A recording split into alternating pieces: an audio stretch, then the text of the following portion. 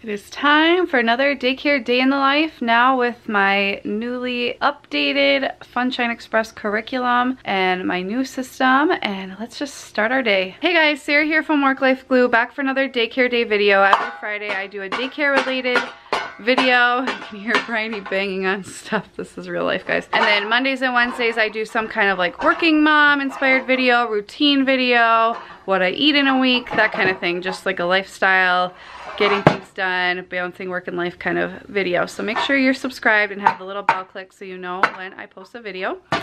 But today we're doing a daycare day in the life where I'm taking you through my entire daycare day. It's 6.15 right now in the morning.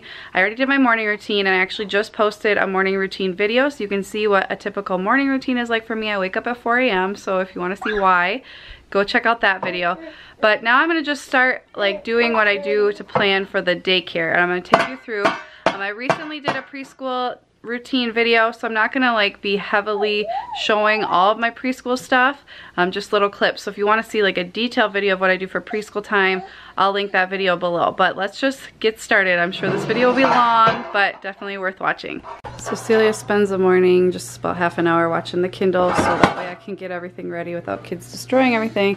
And this one is into everything. I already fed her because this one got up early and went into her room and woke her up before I could tell her not to. So she's already fed. Normally I would have been feeding her right now, but I guess this just gives me more time to work on some stuff. So now that it is cold and flu season, I'm running my essential oils every morning before daycare and every night after daycare. I don't run them during just for liability's sake and just because you never really know, but I feel safe running them around my children and it just gets them in the air, I guess. I'm going to be filming a video pretty soon about how I stay healthy and keep my family healthy in daycare, but um, just to give you guys an idea. So this is the um, essential oil I have diffusing. It's the Immune Boom by KidSafe by Plant Therapy. I also rub this on the girls' backs, down their spine, and then I put this on my wrists and the back of my neck.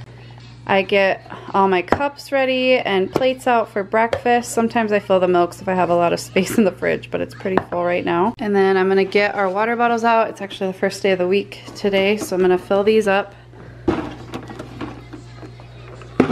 And then get these bins out. And I normally put them on the fireplace hearth, but Bryony will get into them. So I just put them up here for now, as well as our wipes. And then I get the bibs out for the infant and Bryony. So once we head to breakfast, we're like ready to go. I don't like to have a lot to do once we come up for breakfast besides actually making breakfast. So I just lay those out. The high chairs are ready to go. And then I get my papers and crayons all ready for the kids so that right when they come up, they can start coloring so that I don't have to do that step once we come up here and they color while I make breakfast. It's just something to get them to do so they're not waiting and getting in everything and being crazy or crazier than normal. And then the babies, I just give a little something to eat, whether it's a mesh feeder, some crunchies, some blueberries, something like that. I will not lie, guys. I have had a really rough last week. This little one, I don't know what her deal is, but she's been so fussy, like all day long, all night long so crabby, like wanting me all the time, which is really frustrating. Um, I love her, but I can't be holding her all day. I don't know if it's separation anxiety or teething. She doesn't seem sick. She hasn't had a fever or anything. Um, I don't know. So dealing with that. Um, I actually took like a mental health day, I guess you could call it yesterday, um, which was a Monday. Because it's just been, we had Halloween last week, which was kids were just crazy. And with her and just some other things going on, it just was, I just needed a day to catch up. Um, and San's been working like every weekend. So I don't ever want to come across like I have it all together all the time. My life is perfect. Um, I have never taken a mental health day, but I did yesterday and my families were really understanding. I'm very grateful for that. Um, like I can't pour into everybody else if I am needing somebody to pour into me, you know what I mean? So, um, yeah, so there, there's a little real life. I don't know this. Hopefully I can get this video filmed today without her screaming at me. Usually when the kids get here, it's better, but oh, when they're not, she's just like on me all the time. And then I also set out our blankets before we head down for the day so that this is where the kids sit during our showtime while I'm making lunch. I don't have them sit on here because they get stuff everywhere. For example, I let them sit on here during Jammy Movie Days, which we had about two weeks ago, and I put blankets all over. The one time a kid gets a horrifically bloody nose is on this couch, and thankfully I had those blankets there. It did get on the rug, but I got it out. So that's why we sit on the floor. While we wait for everybody to get here, I will pull out our curriculum stuff, and since I ended up closing yesterday, I'm going to have to combine these. But if you want to know why I use these, how I use these, I will link to my preschool setup video so you can learn about that. Often we'll pull out a couple table activities in the morning just for something fresh. And so Celia is doing this alphabet train and on the back it says the name of whatever it is and she's matching it to the letter in the train. You just gotta stick it or just lay it on top and then mom will get it. There you go. Now baby and Bryony are playing together in their little playpen. I fill out these daily sheets for the day. I just kind of fill in what I know for sure I will be doing. Um, and I can always erase because I do it in pencil, but it just saves me time later on. It's close to 8. I'm heating up the bottle for the baby. Normally feed her at 9.30, but she didn't eat at her normal time this morning, so then Bryony's screaming. Okay, so the kids are having these egg cheese roll-ups. These are actually created by San. It's going to be on our Patreon one of the upcoming months, so stay tuned for that milks for the kids. I ended up only having five kids, four kids, one baby for breakfast. A couple are coming later and one comes on the preschool bus after preschool, which is at lunchtime. And then I'm having two egg muffins I prepped on Sunday with some salsa and sour cream.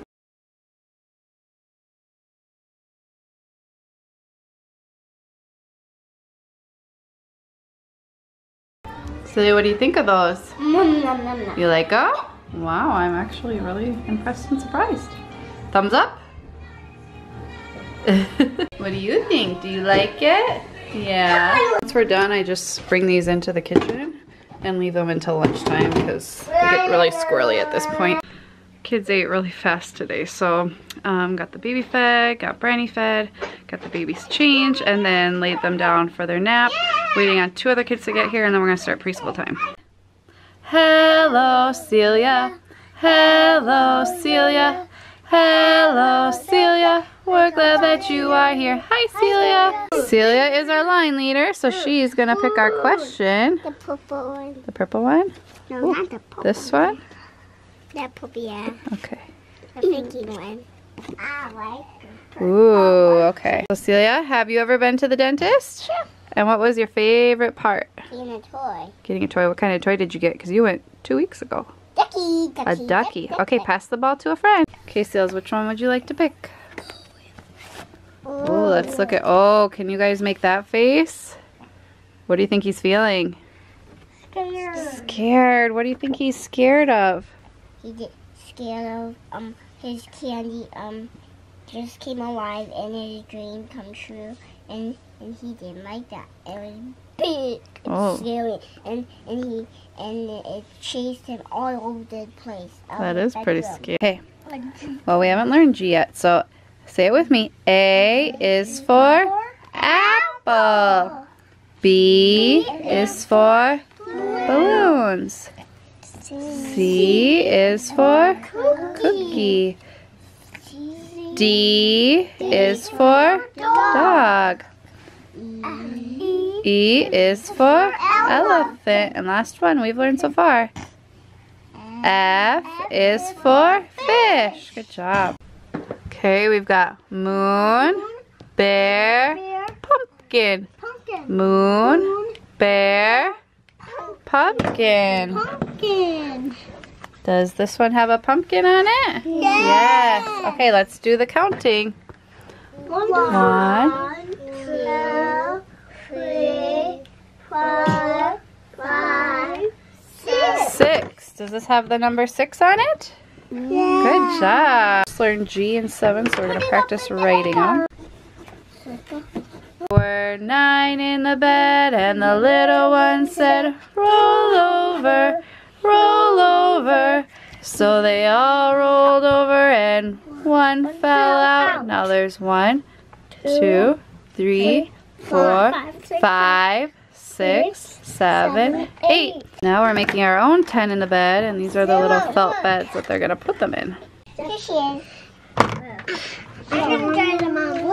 So while the babies are just finishing their nap and kids are doing the craft, I'm debating whether we're gonna go for a walk, but it is raining and I know not all of them have rain boots, so probably gonna stay in today. I hate staying in all day, but um, I don't really want to go out and get all soaked. So the kids are now playing really nice with their 10 in a bed and some Clipo blocks and things like that. By now I normally would have gotten Bryony and the baby up, but they are still sleeping. And since it's the first day of the week and we just had daylight savings time this weekend, I'm just gonna let them sleep a little bit longer, maybe like five more minutes. Um, just because I don't want them screaming all lunch, really tired and ready for nap. So that's what I'm gonna do. Um, and it's still raining, so I think we're gonna play in the basement the rest of the morning. Somebody's awake. Currently in the basement now, a bunch more playing Duplo blocks. This crazy one stays on the other side so that she can play with the dramatic toy stuff, but not, not be getting into all of their creation. I'm really working on like a one to two bin out at a time rule so that we don't just have toys everywhere and they're not even playing with them. So they put Duplos and they're doing really well with those and the other kids that want to play with the kitchen and stuff are in the other room and I can see everybody. Never a second goes by where she's either crying or climbing. What are you doing? You want to play with this one? Why don't we get it down so you can do this safely? There. There you go. Can you push on it? There you go. It's about 10:40. We cleaned up. We are getting our nap stuff out and picking out books. And I always get out a bunch of special books that they don't have every day. Yep, that is the Wizard of Oz. You want to look at that one? So we just got upstairs. Kids are in watching a show, Treehouse Detectives. Um, I got the babies in a playpen right here. Hopefully they will not scream at me. This is by far my most stressful part of the day because they get super fussy and I cannot be feeding them and watching for a bus out this door to come and cooking because I'm like gonna be making pasta today. I can't be holding them. Um, so yeah, it's a stressful part of the day, not gonna lie. I always start by just like getting everything out that I need for my lunch, for the kids' lunches. Um, I get the baby's breast milk out to thaw and then they also puree her food. So I just have these in the freezer. I'm gonna run this in her milk under hot water and then warm up her bottle for lunch as well. Sometimes they can last playing, sometimes they just can't. Today is one of the just can't. One is eating over here and one Bryony's eating here so that I can finish lunch and wait for the bus. Um, that's what makes it tricky. I wait for a bus and sometimes it comes right at 11 and sometimes it comes at 11.30. So a very big window of time we have to just wait. So here's our lunch today. Watermelon, celery with ranch, buttered noodles, and then chicken alfredo. I keep it separate because some kids don't like it mixed together. Some kids don't like the chicken. Pretty much everybody loves the pasta.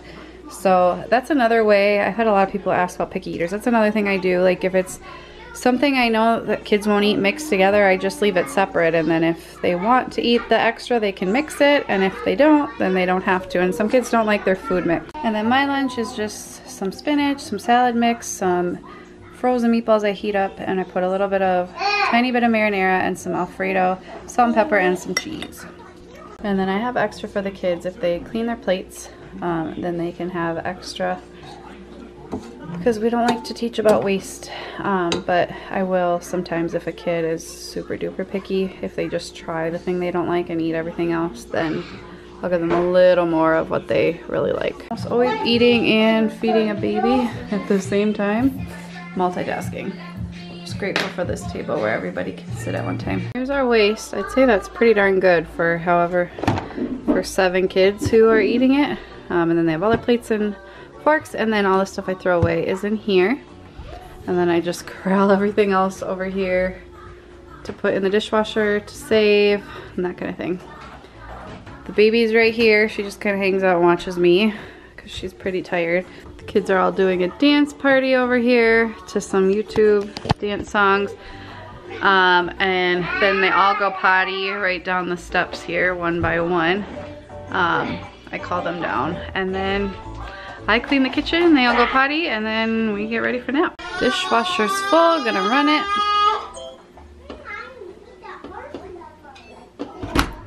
And I have all these to hand wash as well. Okay, just quickly wiped all the tables and the counters.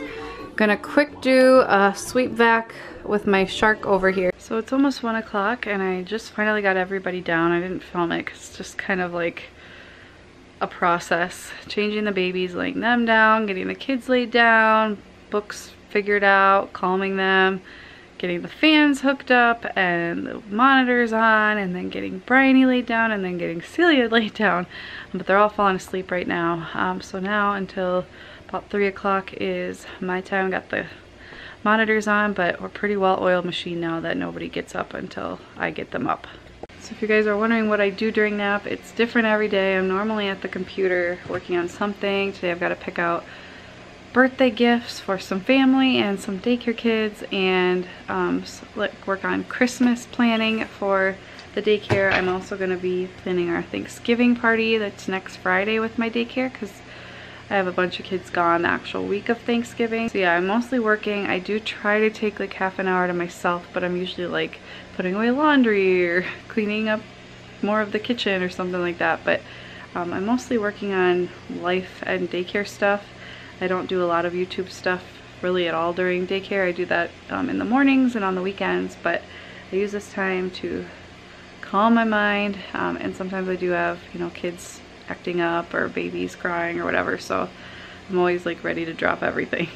Just after three, getting everybody up, we're all gonna go to the bathroom, change diapers, and head upstairs for snack. Simple snack today, crackers and cheese.